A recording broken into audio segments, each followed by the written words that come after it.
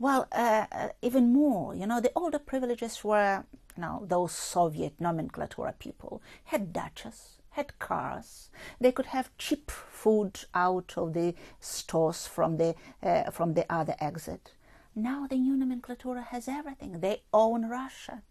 They have billions. They own property. They control power in Russia, and they own Russia.